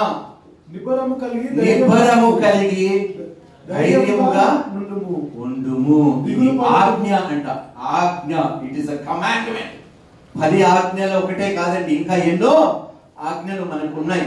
There are many more commands అందులో ఒక కమాండ్మెంట్ ఏమిటంటే do not be afraid do not be discourage or do not be dismayed అని ఇంగ్లీష్లో ఉంటుంది. ఆ చదవండి. దిగులు పడకము జడియకము. నీవు నడుచు మార్గమంతటిలో నీ దేవుడైన యెహోవా నీకు తోడై ఉండును. దేవునికి స్తోత్రం. హల్లెలూయా. దేవుడు ఈ రోజు మనకి చెప్తున్నాడమ్మా. ఒకవేళ ఎవరైనా మిమ్మల్ని అధైర్యపరుస్తున్నారు ఎవరైనా మిమ్మల్ని భయభీతులకు భ్రాంతి చేస్తున్నారనుకో వారి మాటలు మీరు నమ్మకండి. ఈ వాగ్దానం ఎత్తి పెట్టుకోండి. దేవా నువ్వు భయపడద్దు అన్నావు ప్రభు. నా పరిస్థితిని చూస్తే ఏ మనిషి అయినా భయపడవలసిందే. కానీ నాయన నీవు నాకు తోడై ఉన్నావు కాబట్టి నేను భయపడను ప్రభు. నువ్వు భయపడ్డొద్దు అన్నావు తండ్రి నేను భయపడను. ఇందులో దేవునికి ఘనత కలుగజేస్తున్నామా లేదా చెప్పండి? దేవుడు భయపడద్దు అన్నాడు నువ్వు భయపడటం లేదు కాబట్టి నువ్వు భయాన్ని తిరస్కరించావు కాబట్టి దేవుడు గొప్ప విజయాన్ని నీకు అనుగ్రహించి చాలా మంది జీవితాలు చిన్న చిన్న విషయాలకి. అలా ఉన్నారు సిస్టర్. ప్రభావతి సిస్టర్ నీకే భయపడకండి అంటున్నాడు. ఏ విషయంలోనా పాప చదువు విషయంలోనా భర్త లేడు నా పరిస్థితి ఏమిటి? ఒక్కటిని అయిపోయిన ఒకదానినే అయిపోయాను. ఎవరు చూసుకుంటారు? ఇంటి ఇంటి పరిస్థితి బాగాలేదు నా పాప వచ్చి ఏ విషయంలో కూడా చెడియకండి. దేవుడు మీతో చెప్తున్నాడమ్మా. అందుకని మీ పేరు ప్రత్యేకంగా చెప్తాను. భయం ఎక్కువ మీకు. భయపడకుడి అని దేవుడు చెప్తున్నాడు. మనుషులు భయపడుతూనే ఉంటారు. అధైర్యపరుస్తూనే ఉంటారు. కానీ దేవుడు అంటున్నాడు మరలా చదువుదామండి. నేను నీకు ఆజ్ఞ ఇచ్చి ఉన్నాను. నేను నీకు ఆజ్ఞ ఇచ్చి ఉన్నాను. దేవుడు ఆజ్ఞాపిస్తున్నాడు మనల్ని. నిబ్బరము కలిగి ధైర్యంగా నిబ్బరము కలిగి ధైర్యముగా. అమ్మా మీ పిల్లల భవిష్యత్తుకి మీరు భయపడవలసిన అవసరం లేదు. దిగులు పడకము మీ పిల్లల విషయంలో మీరు దిగులు చెంద- చెందవలసిన అవసరం లేదు. మీరు యథార్థముగా బ్రతుకుతున్నప్పుడైతే మీరు దేవుని సన్నిధిలో మీరు యథార్థముగా నీతి కలిగి బ్రతుకుతున్నప్పుడు మీరు ఏ విషయంలో మీలో పాపం ఉంటేనే మీ పిల్లల భవిష్యత్తు విషయంలో మీరు భయపడతారు. మీలో భయం ఉన్నదంటే మీ పిల్లల భవిష్యత్తు గురించి మీరు భయపడుతున్నారంటే మీలో ఏదో పాపం ఉన్నది. భయము భీతి ఉన్న వాడిలో ఏదో ఒక తప్పు ఉన్నది ఏదో ఒక పాపం ఉన్నది. నేను ఎందుకు భయపడాలండి? నా పిల్లల భవిష్యత్తు గురించి నేను ఎందుకు పడాలి? దేవుడు వాడు అనుగ్రహించిన స్వాస్థ్యము బహుమానము. నేను కేవలం వాటిని చూసుకోవాల్సిన బాధ్యత నాది. వారి భవిష్యత్తుని వారి యొక్క జీవిత కాలం అంతా దేవుడు వాడి చేతు దేవుడి చేతిలో పట్టుకొని ఉన్నాడండి. నీ అంతము ఆది నుండి నేను ఎరిగి ఉన్నాను అని దేవుడే తన వాక్యం ద్వారా సెలవించాడు నేను నీతిగా బ్రతికితే తండ్రిగా నా బిడ్డల భవిష్యత్తు గురించి నేను బాధపడవలసిన అవసరం లేదండి. If I live righteous my God will take care of my family my God will take care of my children వారి భవిష్యత్తుని నా దేవుడే. ఏమండి? నా దేవుడే ఇచ్చాడండి. నేను కనాలనుకుంటే కన్నది కాదండి బిడ్డలు.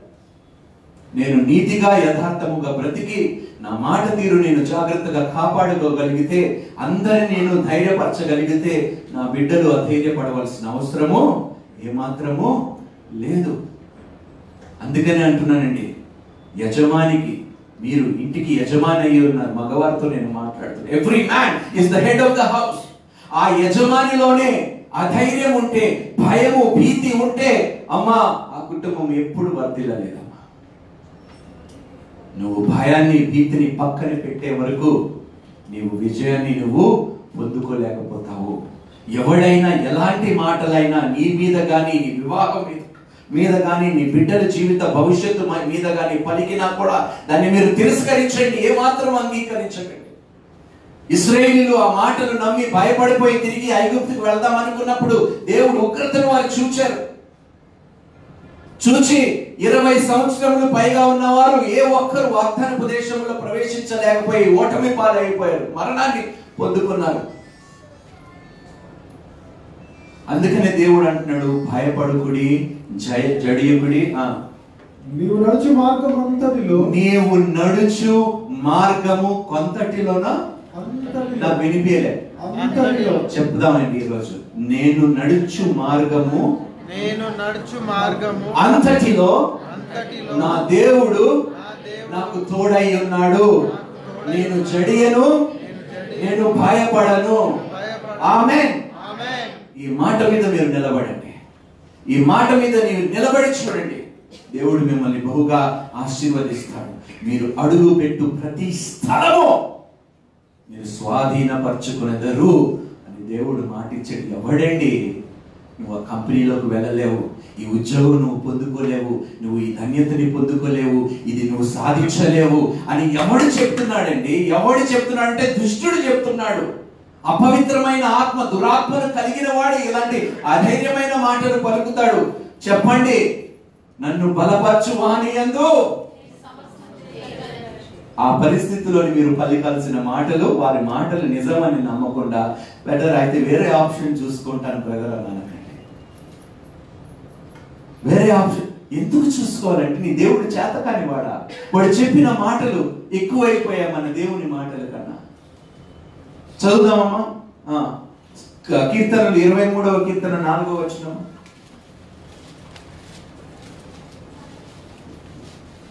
గాఢాంధకారపు లోయలో నేను సంచరించినను. ఆ. గాఢాంధకారపు లోయలో నేను సంచరించినను.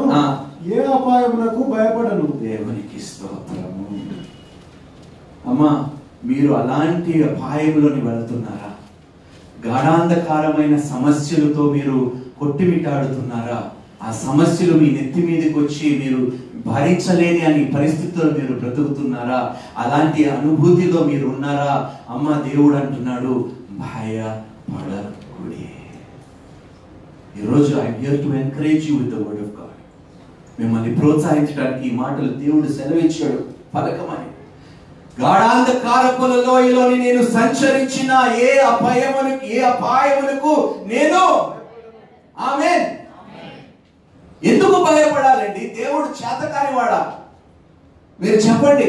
నా దేవుడు చేతకాని వాడు కాబట్టి నేను భయపడుతున్నాను. ఈ పరిస్థితిని చూసి నేను వణికిపోతున్నాను ఈ పరిస్థితి నుండి నా దేవుడు నన్ను దాటించలేడు అని అనుకొని నేను భయపడుతున్నాను. దయచేసి ప్లీజ్ దేవుణ్ణి అగౌరవపరచకండి. అల్ప విశ్వాసులుగా మీరు ఉండకండి. I pray today and I urge each one of you to show your faith stand firm in your faith మీ విశ్వాసముని కనపరచండి. తండ్రి గాఢాంధకారపు లోయలు నేను సంచరించిన. నేను ఎందుకు భయపడను తెలుసా? ఆ లోయల్లో కూడా నువ్వు నాకు తోడై ఉన్నావు కాబట్టి.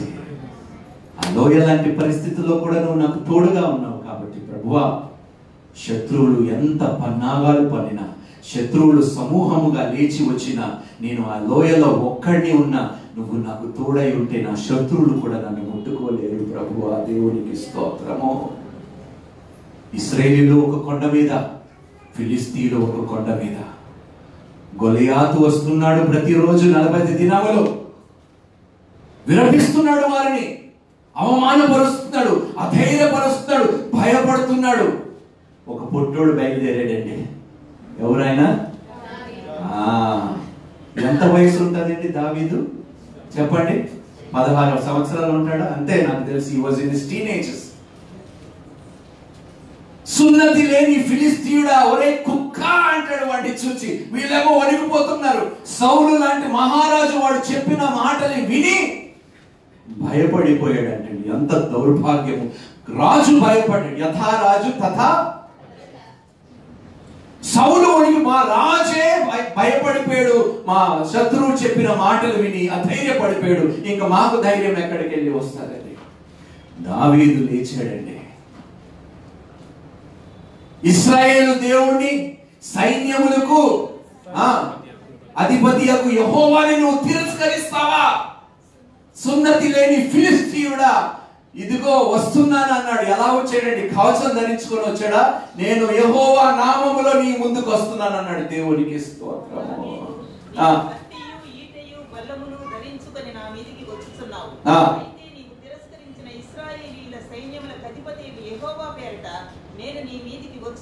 నీ మీదకి వస్తున్నాను.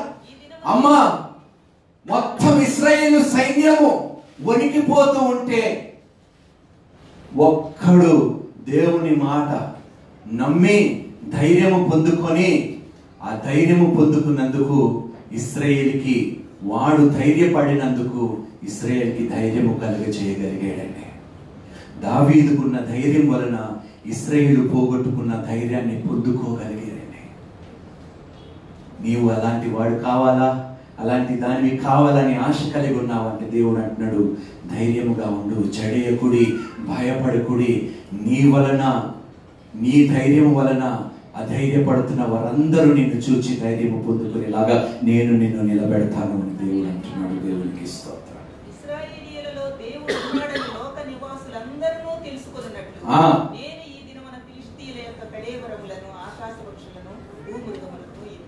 దేవునికి స్తోత్రము. చూడండి ఏలియా ప్రవక్తుడు. ఏలియా ప్రవక్తుడు తెలుసు కదండి ఏం చేశాడు? ఏం చేశాడండి? నాలుగు వందల బయలు ప్రవక్తలని చంపేశాడు. చంపేసిన తర్వాత యజుబేలు యజుబేలు ఒక మాట స- వాడు సైనికుడి ద్వారా పంపిస్తాడు. రేపు ఇదే దినము ఇదే సమయానికి నీ ప్రాణములు నేను తీసుకోకపోతే నేను యజబేలనే కాను అంటది. వెంటనే ఏలియా పారిపోతాడు. పారిపోయి దేవా నన్ను చంపేయి ప్రభువా! నన్ను అరే నాలుగు వందల బయలు ప్రవక్తులను చంపేసిన వాడు ఒక స్త్రీ. నిన్ను చంపేస్తానంటే వణికిపోయి దాక్కొని దేవుడి దగ్గరికి వెళ్ళి ఏమంటున్నాడు చూడండి. నా పితరుల కంటే నేను గొప్పవాడిని కాదమ్మా. నా పితరులు భయపడ్డారు నేను కూడా. ఇంత మట్టుకు చాలునయ్యా. నా ప్రాణములు తీసుకోయి నన్ను చంప అది నన్ను చంపేసే ముందు నీవే నన్ను చంపేసే. ఎందుకు వచ్చింది? ఇలాంటి పరిస్థితుల్లో మీరు ఉన్నారా ఎవరో ముక్కు తెలియనోడు వచ్చి నీ చెవిలో ఒక మాట పడేస్తే వాడి మాటని నమ్మేసి చిచ్చి నేను బ్రతుకుండటం కన్నా చచ్చిపోవటం మేలు అని ఎవరైనా ఇక్కడ ఉన్న వారు ఉన్నారా? అనుకున్న వారు ఎవరైనా ఉన్నారా? దయచేసి దేవుడు అంటున్నాడు వారి మాటలు నమ్మకండి. సర్వలోక సృష్టికర్త అయిన నేను తోడై ఉన్నాను. భూదిగంతముల వరకు నీకు తోడై ఉన్నాను. నీకన్నా ముందు వెళ్ళి దహించు అగ్ని వలె నీ మార్గమే నేను సరళపరుస్తానంటున్నాడు దేవుడు. గాడ్ ఇస్ విత్ యు ఒక్క స్త్రీ యజబేలు స్త్రీ. అరే ఎంత దో- ఈ విధంగా ప్రవక్తల పరిస్థితి ఎలా ఉంటే జనుల పరిస్థితి ఏ విధంగా ఉంటుంది బ్రదర్? అంత గొప్ప కార్యము. నాలుగు వందల బయల ప్రవక్తలని వాడు చంపేయగలిగిన వాడు ఒక స్త్రీని ఎదుర్కోలేక ఒక ప్రవక్తుడు. అమ్మా ఇలాంటి దౌర్భాగ్యమైన స్థితిలో మీరు ఉండకండి అని దేవుడు చెప్తున్నాడు. చాలా అదే అయినా దేవుడు చూడండి ఎంత కనికరించాడు. దేవుడు ఏమంటున్నాడు తెలుసా ఏలియా? అరే పిచ్చివాడా నీకు మరణమే లేదు అనే సంగతి నీకు తెలియదురా అంటున్నాడు. నీవు చచ్చిపోవు. నీకు మరణము ఈ రోజు మనకి మరణం ఉన్నదండి. మీరే చెప్పండి. శారీరక మరణం అందరికీ ఉంటుంది కానీ శారీరక మరణం ఏలియాకు కూడా లేదు. అయినా భయపడిపోయాడట. శారీరకంగా మనం మరణించినా మళ్ళీ తిరిగి మనం లెగుస్తామండి. మరణము కూడా మనల్ని ఏమీ చేయలేని పరిస్థితుల్లో దేవుడు మనల్ని ఆశీర్వదించి నిలబెట్టాడు. దేవునికి స్తోత్రము. వై షుడ్ వి ఫియర్ ఎవడో ఏదో మాట చెప్పాడని దేవుణ్ణి కాదని ఆ మాటను మనం నిజం అనుకొని మనం అధైర్యపడిపోతే మన జీవితంలో మనం ఎప్పుడు బాగుపడమండి. ఈ మాటలు మీరు జ్ఞాపకం చేసుకోండి. మీరు ఎప్పుడైనా అధైర్యపడిపోయారు అనుకోండి ఎవరైనా మిమ్మల్ని భయపెట్టారనుకోండి వెంటనే దీని దగ్గరికి పరిగెత్తండి. పరిగెత్తి ప్రభువ నీ వాక్యము ద్వారా తిరిగి నా ధైర్యాన్ని నాకు ఇవ్వు ప్రభువ. నా ధైర్యముని నేను పొందుకునేలాగా నీ వాక్యము ద్వారా నాతో మాట్లాడు. నీ వాక్యము శక్తివంతమైనది బలమైనది రెండంచుల ఖడ్నము ఖడ్గము కన్నా వాడినైనది పదునైనది. వెళ్ళండి ప్రతిసారి మీరు భయపడినప్పుడు ప్రతిసారి మీ జీవితం మీకు అర్థం కానప్పుడు ఎవరో చెప్పడం ఏంటండి మీ బ్రతుకుల గురించి మీ భవిష్యత్తుల గురించి? దౌర్భాగ్యం ఏంటో తెలుసండి? ఈరోజు క్రైస్తవులు అధైర్యపడిపోతే సోదిగాండ్రుల దగ్గరికి వెళ్తున్నారు. చాలా మంది క్రిస్టియన్స్ పిల్లలు హారోస్కోప్స్ చూస్తున్నారు. ఓ what is your zodiac sign what is your zodiac sign నాకు తెలుసు ఉన్నారు. మానవాళ్ళు మన మధ్యలోనే ఉన్నారు. ప్రతి వారం వచ్చేస్తుంది. ఆ ఈ రోజు నా భవిష్యత్తు ఏంటి? న్యూస్ పేపర్కి పోతున్నారు. పిచ్చివాడ నీ భవిష్యత్తు నీ దేవుని చేతిలో ఉన్నదిరా. ఎవడో పేపర్లో రాయబడిన మాటలు నమ్ముతావా? దానికోసం ఎంకరేజ్మెంట్ కోసం ఆ హారోస్కోప్స్ దగ్గరికి వెళతాను నువ్వు. ఈరోజు ఎంకరేజ్మెంట్ పొందుకోవటానికి మనుషులు మందు దగ్గరికి వెళ్తున్నారండి. భార్య నన్ను ప్రోత్సహించడం లేదు కాబట్టి వ్యభిచారిణి గృహానికి వెళుతున్నారు భర్తలు. Because my wife is always behind me నా భార్య ఎల్లప్పుడూ నన్ను వేధిస్తూనే ఉంది గయ్యాలిగా ఉన్నది కాబట్టి కనీసం ఆ వ్యభిచారి దగ్గరికి వెళ్ళి వ్యభిచారి దగ్గరికి వెళ్ళిన కాసేపు ఊరట కలుగుతుంది. మీ మాటల వలనే మీ భర్తలు అటువైపు మొగ్గు చూపుతున్నారు అటువైపు తిరుగుతున్నారు. తప్పు మీ భర్తలో లేదండి. మీలో ఉంది బికాస్ ఎవ్రీ టైం ఏం చేస్తున్నావు అయ్యా నువ్వు? నీ సంపాదనతో ఏం చేస్తున్నావు? నాకేం ఇవ్వగలుగుతున్నావు? నాకేం పెట్టగలుగుతున్నావు? అని పదే పదే పదే పదే చెప్తే వాడు ఎందుకు ఉండాలనుకుంటాడు? అదే ఇంట్లో అదే స్త్రీతో ఎందుకు బ్రతకాలనుకుంటాడు? మీరే చెప్పండి. చక్కగా భర్త ఇంటికి వచ్చింది. మంచి మాటలు పలికి. వారిని ధైర్యపరచగలిగితే నాకు ఇంటికి వస్తే నీకు తెలుసా నాకు ఎంత సంతోషం ఎంత సమాధానం ఎంత నెమ్మది నీ వలన నాకు కలుగుతుంది? అని అనే భర్తలు ఎంతమంది ఉన్నారండి ఈ రోజు లోకంలో? ఎంతమంది ఉన్నారు పెళ్ళైన వారు? ఈ మాటలు ఇంటికి వెళ్ళి వారు భార్యతో చెప్పగలిగేవారు. ఎంతమంది ఉన్నారు? ఎంతమంది పిల్లలు? బా నా ఇంటికి వెళ్ళాలని అనిపించదు. మా నాన్న పచ్చి తాగబోతూ ఎప్పుడు ఏదో ఒక డిస్కరేజ్మెంట్ మాటలేవాడు నోటంతా. మా ఇంటికి వెళ్తే సమాధానం లేదు. మా అమ్మ గాని మా నాన్న గాని ఇద్దరు గొడవలు ఆడుకుంటూ తిట్టుకుంటూ ఒకరిని ఒకరిని అధైర్యపరుచుకుంటూ ఉంటారు. ఇంటికి వెళ్తే అలాంటి వాతావరణంకి వెళ్తే నేను ధైర్యం ఎక్కడి నుంచి పొందుకోగలుగుతాను? అందుకనే నన్ను ప్రేమించిన వాడి దగ్గరికి నేను వెళ్తున్నాను ఎంకరేజ్మెంట్ పొందుకోవడానికి ఆ ప్రేమించేవాడు ప్రేమించడం లేదు. నేను వాడుకుంటున్నాడమ్మా.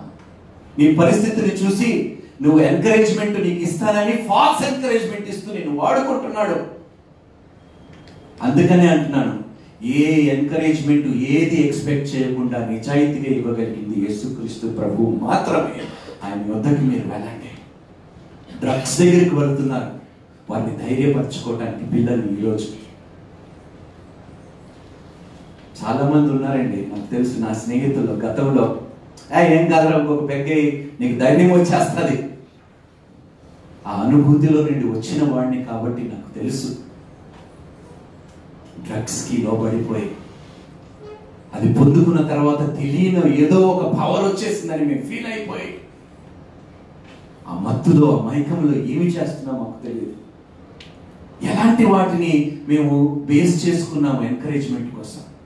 I went to alcohol I went to women I went to drugs to get encouragement in my life but the greatest encouragement I have ever received in my life is from the word of God దేవుని వాక్యం ద్వారా నేను పొందుకున్న encouragement నాకు ఈ ప్రపంచంలో ఎవరు ఇవ్వలేకపోయారు. ఈరోజు ఇదే ఎంకరేజ్మెంట్ వలన ఈరోజు ఒకప్పుడు పాపిష్టి వాడిగా ఉన్న నేను దేవుని దాసుడుగా తయారు కాగలిగాను. ఎందుకో తెలుసా? ఈ ఎంకరేజ్మెంట్ వల్లనే. ఈరోజు దేవుడు మీ అందరికీ చెప్తున్నారు. మీకు ఎంకరేజ్మెంట్ కావాలా? నా దగ్గరికి రండి. ధారాళముగా ఇస్తాను ఎంకరేజ్మెంట్ మీకు. మనుషుల దగ్గరికి వెళ్ళకండమ్మా అధైర్యపరుస్తాను మిమ్మల్ని ప్రోత్సహించే మాటలు వారి నోట్లో ఉండవు. వాడు బ్రతికి అలా ఉన్నది నీ బ్రతుకుని ఏ విధంగా ఎంకరేజ్ చేయగలుగుతాడు? అందుకని అంటున్నాను if you are disheartened if you are discourage go to God and he will encourage దేవుని వాక్యం దగ్గరికి వెళ్ళండి. దేవుని దగ్గరికి వెళ్ళి విచారించండి. నీకు అర్థం కాని పరిస్థితుల్లో మనుషుల్ని అడగకండి సలహాల గురించి. ముందు మనిషి సలహాలు కోరుకొని దేవుని సలహాలు అడిగితే దేవుడు సలహా ఇవ్వడండి మీకు. ఎందుకంటే దేవునికి రెండో స్థలం నువ్వు ఇచ్చావు కాబట్టి. Go to God he will encourage కొన్ని వచనాలు మనం ఇంకా ధ్యానించుకొని ముగించేద్దాం. I will close with this కీర్తనలు ఇరవై ఏడవ కీర్తన ఒకటో వచనం.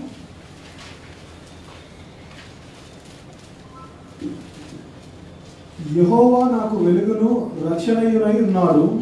నేను ఎవరికి భయపడుదును? నేను ఎవరికి భయపడదును? యెహోవా నా ప్రాణదుర్గము. అవసరం లేదండి ఫస్ట్ వర్స్ యహోవా నాకు వెలుగు చీకటి మనుషుల దగ్గరికి వెళ్ళి నేను వెలుగుని కోరుకోవటానికి చెప్పండి. మనుషుల్లో చీకటి ఉందా వెలుగు ఉందా చెప్పండి. చీకటి ఉన్న వాళ్ళను వెలుగు కోరుకోవడానికి పెడితే నువ్వు వెలుగు పొందుకోమా చీకటిని పొందుకుంటావు. Go to people who are filled with the spirit of God అందుకనే మనకి ఏమిటంటే సహవాసం అనేది చాలా ముఖ్యం. ఫెలోషిప్ అనేది చాలా ముఖ్యం. సంఘముగా కూడటం అనేది చాలా ముఖ్యం. ఫెలోషిప్ అపోస్తులు ఏం చేసేవారండి? ఫెలోషిప్ సహవాసం కలిగి ఉండేవారు వెళ్ళేవారు. అమ్మా నేను ఒకటే ఎంకరేజ్ చేస్తున్నాను లైక్ మైండెడ్ పీపుల్తో దేవుని ఎందు భయభక్తులు కలిగి ఉన్నవారితో సహవాసము కలిగి ఉండటము మీరు పెంపొందించుకోండి. Encourage yourself to spend time with people who are filled with the word of God and the knowledge of God అలాంటి వారితో మీరు సహవాసము చేయండి. మీరు బలపరచబడతారు. శిష్యులు ఎల్లప్పుడూ సహవాసము కలిగి ఉండేవారు. బైబిల్లోని లామెంటేషన్స్ విలాప ఆ, మూడవ అధ్యాయం ముప్పై ఒకటి ముప్పై మూడు. నేను ముగించేస్తున్నాను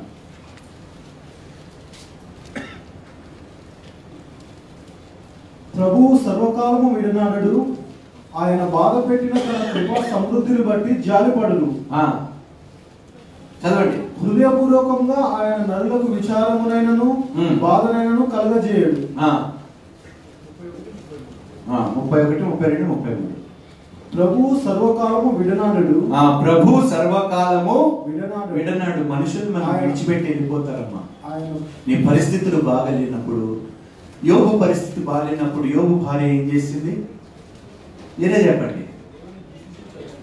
దేవుణ్ణి దూషించి నువ్వు కూడా చచ్చిపో అని చెప్పి వెళ్ళిపోయింది మా మా తల్లి. పరిస్థితులు బాగలేనప్పుడు నీకు ఎంకరేజ్మెంట్ ఎవ్వరు ఇవ్వరమ్మా ఈ లోకంలో when you are discouraged, when you have failed, when you have no options in life, the only person who can encourage you is Jesus Christ. ఆయన దగ్గరికి వెళ్ళండి. తప్పకుండా ఎంకరేజ్మెంట్తో పాటు ధైర్యంని కూడా కలుగు చేస్తాడు. ఆయన బాధ పెట్టినను ఆయన బాధ పెట్టినను. తన కృపా సమృద్ధిని బట్టి తన కృపా సమృద్ధిని బట్టి జాలి పడతాడంట ఇంకా హృదయపూర్వకంగా ఆయన నరులకు విచారమునైనను బాధనైనను కలుగజేయడు. కలుగ చేయడంటండి దేవునికి స్తోత్రము. సిస్టర్ ఏ విషయంలో మీకు భయం లేదు కదా? లేదు కదా? రైట్ ఆనంద విషయంలో అసలు భయపడే రైట్ సో దేవునికి స్తోత్రం. మరి ఈరోజు మనం ప్రార్థన చేద్దాం. మోకరిద్దాం. మోకరించి దేవుని సన్నిధిలో అడుగుదాం. తండ్రి నా జీవితంలో నేను ఎక్కడికి వెళ్ళినా ప్రోత్సహించే వాడిగా ప్రోత్సహించే దానిగా మాత్రమే నేను ఉండాలి ప్రభు. అధైర్యపరచకుండా ఎవరిని ఎవరిని భయభీతులకి నేను పెట్టకుండా గురి చేయకుండా అందరినీ నేను నాయన తండ్రి నాయన తండ్రి ధైర్యపరిచే విధమైన కృపని నేను పొందుకునేలాగా సహాయమని మీరు నాకు దయచేయండి.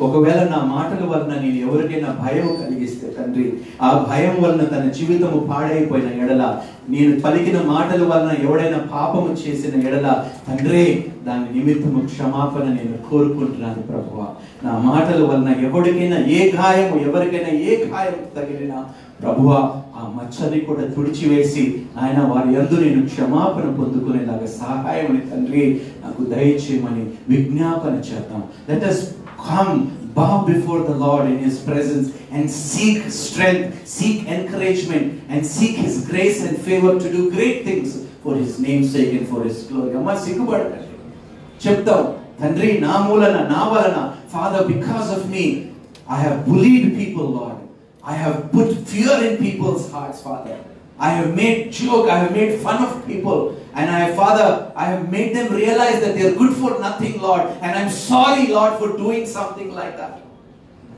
Please forgive me, Lord. Help me to encourage, but not to discourage, Lord. Help me to build up, but not to tear down, Lord.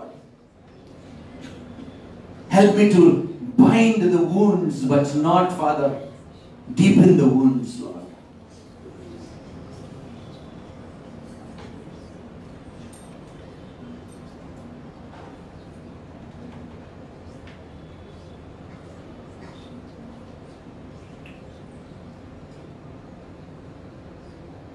మన ఇంటిలో ఎవరైనా అనారోగ్యంతో బాధపడుతున్నారా వారి దగ్గరికి వెళ్ళండి ధైర్యం కలిగిన మాటలు పలకండి. బహుశా చెప్పుంటారు డాక్టర్ వారి ప్రయత్నాలు వారు చేస్తుంటారు కానీ మా చేతిలో ఏది లేదు అని బహుశా డాక్టర్ చెప్పుంటారు అలాంటి వ్యక్తులు మీ ఇంట్లో ఉండొచ్చు మీ మధ్యలోనే ఉండొచ్చు మీ పొరుగు వారిలో ఉండొచ్చు. వెళ్ళండి వారి దగ్గరికి వెళ్ళండి. కాస్త మంచి మాటలు మాట్లాడితే కనీసం తాత్కాలికముగా వారు సంతోషము పొందుకోగలుగుతారు. వారి ధైర్యాన్ని పొందుకోగలుగుతారు. నశించిపోతున్న ఎంతో మంది ఒంటరి పోరాటం చేస్తున్న ఎంతో మంది దగ్గరికి పంపించమని అడుగుతాం దేవుడిని send us, Lord, to all the broken-hearted people so that we can bind their hearts with your word, Lord. God. ఎంతో మంది మంచి మాటలు వినలేక పాప చచ్చిపోతున్నారు తండ్రి ఉదయం లేచినప్పటి నుంచి భర్త మాటలు వినలేక భార్య ప్రతిరోజు మరణాన్ని అనుభవిస్తుంది భార్య మాటలు వినక వినలేక భర్త ప్రతిరోజు నాయన తండ్రి హింసింపబడుతూ బాధపడుతూ డిస్కరేజ్ అయిపోతూ పిల్లలు నాయన తల్లిదండ్రుల నోటిలో నుండి ఎంకరేజ్మెంట్ మాటలు లేకుండా డిస్కరేజ్ అయిపోతూ నాయన అలాంటి పరిస్థితుల్లో మేము కానీ మా కుటుంబము కానీ ఉంటే తండ్రి మా నోట నీ మాట ఉంచు ప్రభు మా నోటిలో నుండి వచ్చిన ప్రతి వ్యర్థమైన మాట మా జీవితాల్లో మా కుటుంబంలో మా వివాహంలో మా పిల్లల భవిష్యత్తులో అది ఫలింపకుండా నాయన వేర్లతో సహా దాన్ని పెక్కిలి వేయండి ప్రభు let's no word other than your word bear fruit in our life in our families నీ మాట మాత్రమే మాకు గొప్ప ఫలములు ప్రసాదించును గాక తండ్రి. May your word alone bear fruit in our life Lord మా మాట వలన ఎవరికి నొప్పి కలగకుండా మా మాటల వలన కూడా నీకు మహిమ కలగాలని తండ్రి మేము ప్రార్థన చేస్తూ వేడుకుంటున్నాము తండ్రి. ఇంతవరకు మేము పలికిన వ్యర్థమైన మాటల కొరకు క్షమాపణ కోరుకుంటున్నాము మమ్మల్ని మన్నించి నాయన అవి ఎన్నడూ మా జీవితంలో ఫలమునివ్వకుండా మా జీవితంలో నుండి నాయన దాన్ని కాల్చివేడి భూస్థాపితం చేసి నీ మాట మాత్రమే మా జీవితంలో ఫలములు మాకు ఇచ్చును కాక అని మేము ప్రార్థించి వేడుకుంటున్నాం తండ్రి. ఆమె రిక్వెస్ట్ మన క్వాలిటీ టు కమ్ ఈ సమయంలో కానుకలు పట్టుకుందాం.